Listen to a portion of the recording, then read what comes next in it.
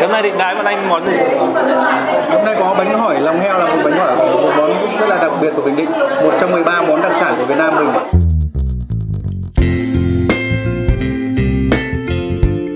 Mến chào quý vị và bạn, chào mừng quý vị và bạn đến với ngõ 164 phố Vương Thừa Vũ thuộc quận Thanh Xuân. Hôm nay quý vị chắc là thấy rất là lạ tại sao anh em Duy với Dũng lại mò tới tận một trong những ngõ ngách như thế này. Nhưng mà thưa vị, những cái điều thú vị nhất dù ở đâu hay đi chăng nữa thì Duy với Dũng vẫn có thể mò tới cho quý vị. Và hôm nay đó là một trong những cái món đặc biệt. Dũng đã từng vào Bình Định chưa em? Chưa anh ạ. Chưa vào à? Thì hôm nay anh sẽ mời em tới Bình Định một cách nó nhanh chóng nhất bằng cái dạ dày của em. Bây giờ quý vị ạ, bây giờ chỉ có đi trốn nợ để vào Bình Định ấy, còn bình thường thì chưa có điều kiện để mà đi quý vị nhá. Mà hôm nay anh dẫn em à, đến ờ, chỗ này thì ăn món gì anh? Hôm nay ăn món Bình Định anh cũng chưa biết cụ thể nó là món gì. Ăn món Bình Định chắc là em hôm nay là bình vôi rồi quý vị nhá. Thôi bình vôi không biết gì thì ta lại cứ, cứ ăn tự nhiên thôi. Thực ra bản thân anh cũng không biết là ăn món gì bởi vì có một cậu em cậu ấy mới mở cửa hàng muốn anh em mình đến để quý vị thấy ăn thử xem xem anh anh chị mình thân thiết nhau không? À, đâu nhà hàng đâu anh? Bánh hỏi nhà Ly Ngõ 164, số nhà 64 Vương Thừa Vũ. Thế thì hôm nay là phải làm con 64 rồi. Ủa đông đấy anh em cảm ơn anh nhiều nhá. Hôm nay nó chặt quá. Xong hôm sau mà anh em mà con muốn ăn order về thì gọi điện cho cô nhá. Quý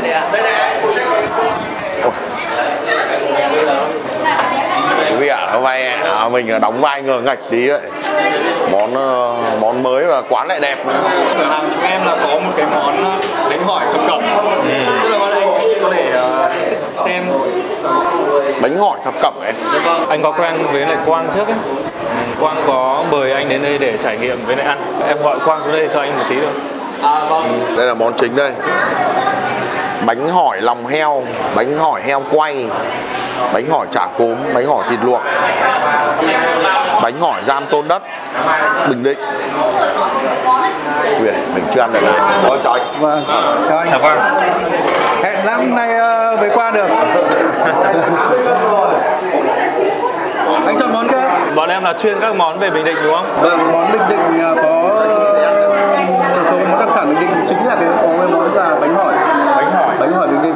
Bánh hỏi nó nó một dạng sợi giống như gạo à, là bún nhưng mà nó rất là nhỏ, li ti thôi, nó nhỏ và hoàn toàn làm bằng gạo. Không có một chất bảo quản, không có một cái gì cả mà trực tiếp ở đây em sản xuất ở trên. Hôm nay định đái bọn anh món gì? Hôm nay có bánh hỏi lòng heo là một bánh hỏi một món rất là đặc biệt của Bình Định, một trong 13 món đặc sản của Việt Nam mình mà được ờ, dân rất là dân uh, quốc tế người ta cũng biết đến người ta cũng là khi mà Bình Định người ta rất là ăn hay ăn cái đấy. Và Dũng đã ăn cái món đấy chưa? Chưa anh ơi, em chưa ăn ngoài ra thì còn có một số cái như là bánh hỏi heo quay, heo quay là, là, là lợn quay của mình đấy, thịt quay của mình đấy. Thì Vâng, bánh hỏi chả cốm này thì là bọn em uh, thấy kết hợp giữa cái bánh hỏi với cả cái chả cốm của Hà Nội mình. Kết hợp hai cái vị đấy vào một món bánh hỏi rất là ngon. Hoặc là anh cũng có, anh cũng có thể ăn là tổng hợp bao gồm có chả cốm này thịt quay này thịt luộc này và ram tôm. Ram tôm này là ram tôm đất bình định 100% và được chứng nhận vệ sinh an toàn thực phẩm. Và bọn em chọn là những cái nhà mà uy tín nhất. Cái vị của nó cũng rất là ngon cuốn bằng cái bánh tráng cây xương rất là hay. Đấy ngoài ra thì có một số cái món tráng miệng cũng rất hay. Em gọi để ba anh em mình ăn cùng với anh nhé để hướng dẫn anh cách ăn. làm món ờ, tổng hợp nhá. Xem là mỗi thứ mỗi thứ một tí xem thế nào. Với cả làm một cái đĩa gọi là ram. Tại vì đĩa ram là đĩa rất là đặc biệt ram đặc biệt của Định Cởi cho một bát mang về đấy anh nhá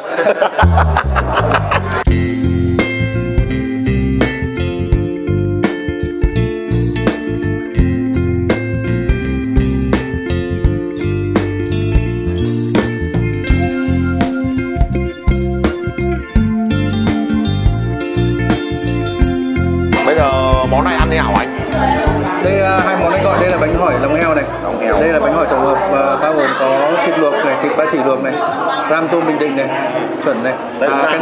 vâng đây cũng là, là đĩa ram. Ram thì sẽ có hai loại cho anh thưởng thức. Một loại là nhỡ một loại là đạm. Để anh cảm nhận cái hương vị của từng loại một nó có một loại khác nhau. Nhỡ thì nó là con tôm nhỏ tôm đất tôm nhảy thực sự đất to nó là tôm của biển của bình định. Mỗi loại một cái hương vị nó hơi khác biệt nhau một tí. Thì nó tùy theo cảm nhận của từng người ăn. Đấy còn à, đây là cái bánh tráng phơi xương này. Bánh tráng này là phơi xương nữa. Xong rồi phơi xương xong rồi phơi phơi nắng cho nó khô. Trước khi ăn mình phải qua một chút thì mình, mình, mình tẩm qua nước một chút để cho nó mềm. Mình sẽ cuốn. Ăn ăn như cuốn cuốn cuốn ờ, nem cuốn của mình cứ mỗi thứ một tí mình cuốn và cuốn cả bánh cuốn cả ram này mình thích ăn ram mình cuốn ram mình cuốn chút rau với cả mình cuốn bánh hỏi vào mình ăn cùng Bây giờ em cứ biểu diễn trước một cái nhá, xem anh xem em ăn có đúng không nhá. Đấy, anh Duy anh anh em mình hai đĩa nhá, lính tráng có suất nhá. Ok. Cái này là ăn chung. Đây là bạn Quang ăn chung với lại anh em mình. Rồi em trêu đấy. Ôi sao rồi nó. Đây. Cái bánh này anh cũng thấy lạ này ở đây họ có bán không em? không ở đây không có đâu ạ em phải đặt từ trong bình định ra anh ạ đó là bánh tráng phơi xương đặc sản bình định nhiều người cứ tưởng là bánh đa của mình nhưng không phải vâng em miếng đầu tiên mình làm miếng ờ, thịt heo quay đi. vâng đấy Nó là nó là thịt quay của Hà Nội đây. Em ăn đi. đây để em cuốn em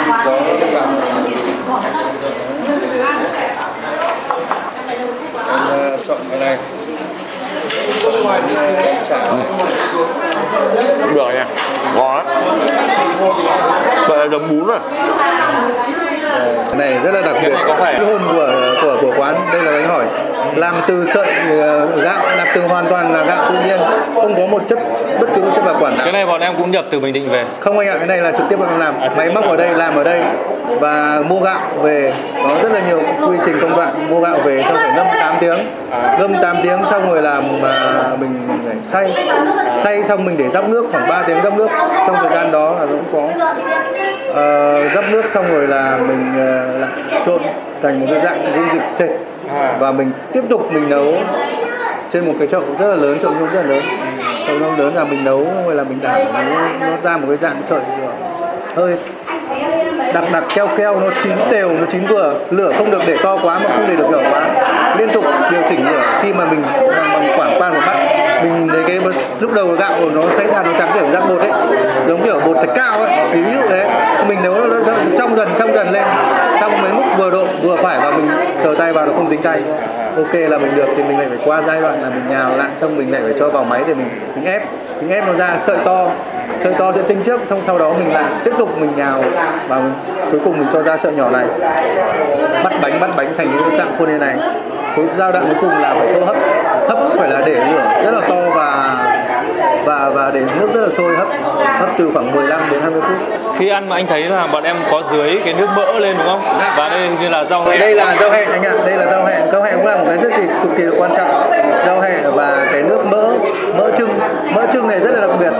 Dầu trưng mua dầu hồng dương và trưng làm sao nó hết mùi để rất cho khoảng 40 phút mình trưng bay hết cái mùi đi. Còn giữ lại mình trộn với cả à, lá hẹ này. Trộn hợp sệt và mình khuếch lên bánh hỏi ăn tự động mùi hương vị chấm với mắm đen mắm bình định cái nước chấm này cũng rất đặc biệt cũng phải xay phải có những cái thành phần riêng đặc biệt để ra được cái nước chấm như này Và như anh được biết là cái nước chấm ở trong Bình Định nó cũng có một cái tên khác đó là cái tên nước chỉ đúng không? vâng đúng rồi. Đấy. và nước mắm này cũng là nước mắm từ bình định ra luôn là vâng đây hôm nay là quán mời ra anh vâng thêm món uh, cho anh cả một đĩa ờ, thịt bò nhá thịt bò mời ra anh thẩm luôn xem nào nhé. Yeah. Mình ăn uh, giam to đây. Bây giờ nghe ờ, nghe anh ờ, chủ quán uh, lúc ấy giới thiệu không kiềm được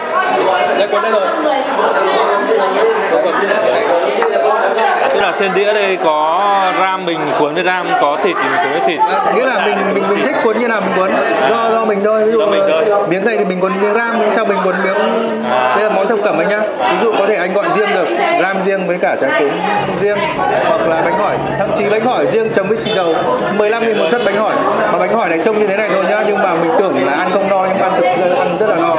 Tại vì hoàn toàn bằng gạo sợi nhỏ nó rất là rất là dày đúng không? Ví dụ bún thì là nó còn là có nước ở trong nó nhiều ẩm cái này là gạo mà để khoảng hai ngày ví dụ nếu ở nhà mình thì để hai ngày không không muốn tiêu rồi tiêu không cần để tủ lạnh luôn đấy mà cái sợi nó rất mềm Và anh uh, ngửi nó rất là thơm luôn đấy. Nó không có cái mùi uh, chua chua kiểu như bún bún em. nó là hoàn không có một cái gì cả chỉ có gạo thôi qua rất nhiều giai đoạn mới được ra được như này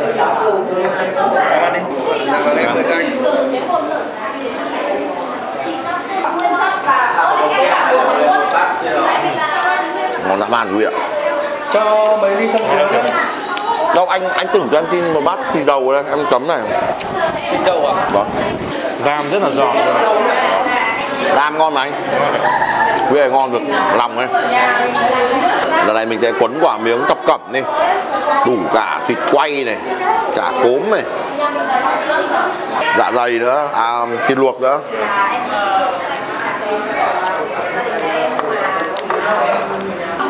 chả đan tôm hơn một kỳ quá. Đấy bây giờ mà ở Hà Nội nhá mỗi lần muốn ăn món này mình phải order cái bánh hỏi này. Ở Hà Nội không có. Có nhưng mà vào khách sạn 5 sao. Thì là mình phải đặt từ trong Bình Định ra ra mà đi mất hai ngày ra thì cái bánh nó không được ngon như rồi. Đấy thì mình quyết tâm là, là làm. Ngon thật. Lần đầu tiên em ăn đây anh. Ăn ram thì uống bia cực kỳ hợp luôn. Cực hợp luôn.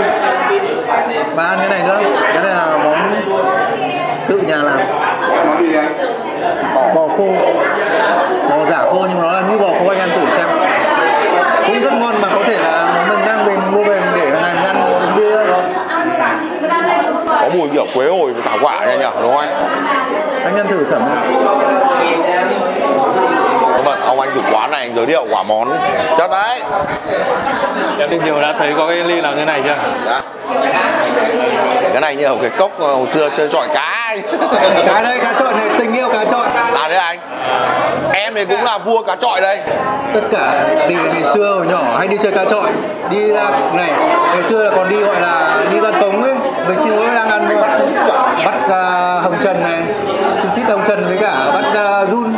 Dụ thế Còn ngày xưa tuổi anh em mình thế tất cả quán này là ý tưởng là anh em cùng cùng làm nghĩ ra kể cả gỗ này đi đặt ở trên đây là thành sơn màu như này về và em tự em bắt khoan biết cá biết cũng tự mua trâu trang trí đây là cả đàn guitar hay là những cái kia.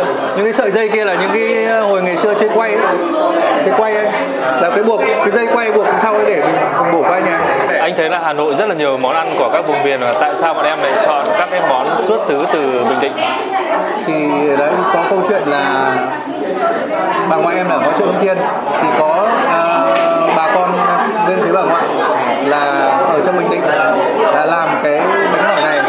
Thì uh, con gì học ở trong Bình Định trong đại học Quy Nhơn ấy em vào em chơi trong đấy thì hai anh em đi sang nhà gì nó ở nhà gì mà. Thì thấy ngon. Thì hồi đấy thì hồi cách đây khoảng chục năm hơn chục năm rồi.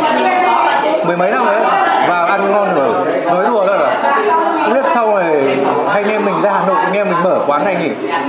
Tại vì là Hà Nội không có kể cả đến thời điểm bây giờ không có luôn. Thế là đợt vừa rồi thì em cũng một số công việc khác thì bây giờ là quay ra tập trung với hai anh em tập trung làm.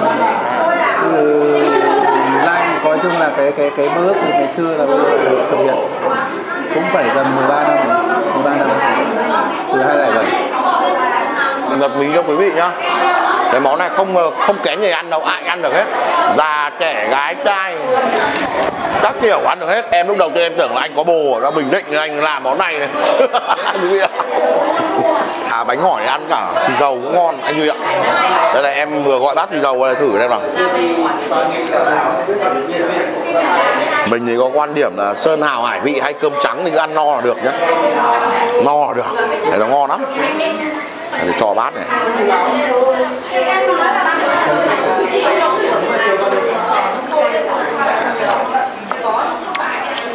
ừ, ngon đấy.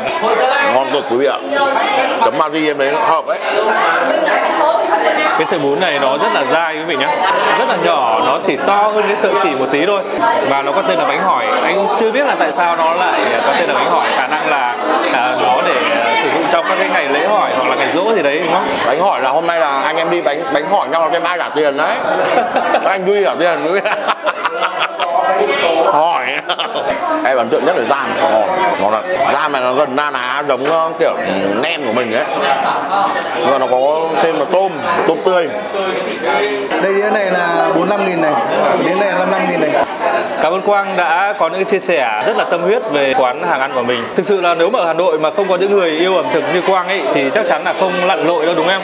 Mãi từ mang những cái món ngon ở Bình Định ra cho người Hà Nội thưởng thức và ăn. là ăn ờ, một bát cháo chạy ờ, ba quãng đồng đấy Nếu quý vị và bạn có dịp tới phố Vương Thừa Vũ, địa chỉ đó là số 64 ngõ 164 Vương Thừa Vũ thì đến đây khám phá.